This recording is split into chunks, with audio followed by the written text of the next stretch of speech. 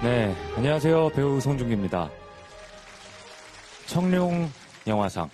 참 많은 영화인들을 설레게 하는 이름이죠. 하지만 설렘으로 가득해야 하는 오늘이 조금 허전하게 느껴지는 건 비단 저뿐만이 아닐 것입니다.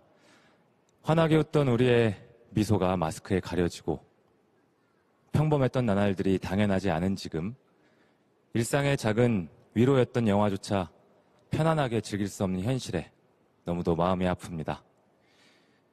2019년 한국 영화 누적 관객 수는 1억여 명, 2020년 한국 영화 누적 관객 수는 3분의 1, 4천만 명 정도라고 합니다.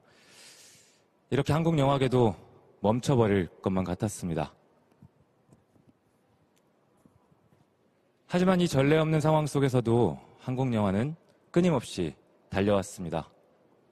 지금은 무엇보다 우리의 안전이 최우선돼야 하는 시기이기에 잠시 움츠리고 있지만 영화는 늘 우리 곁에 있을 것이면서 절대 멈추지 않을 것입니다. 다시 가까이서 관객분들과 함께 할 수 있는 안전한 일상이 하루빨리 돌아오길 진심으로 바랍니다.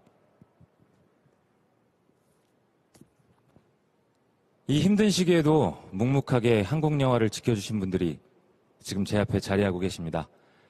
이 자리를 빌어 대한민국 모든 영화 관계자분들과 한국 관객분들께 다시 한번 진심으로 감사의 말씀을 드리면서 제 앞에 계신 모든 후보님들과 함께 한국 영화를 응원하겠습니다.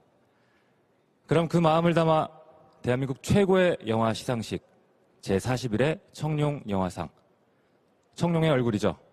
김혜수 씨 그리고 유현석 씨를 소개합니다.